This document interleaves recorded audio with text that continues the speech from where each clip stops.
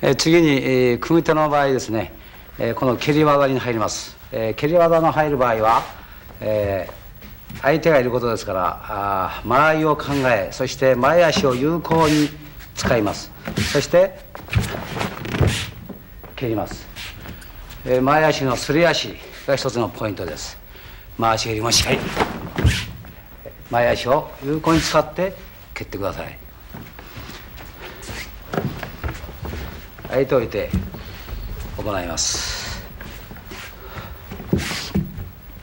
はい。はい。はい。あーえー次回し蹴りに参ります。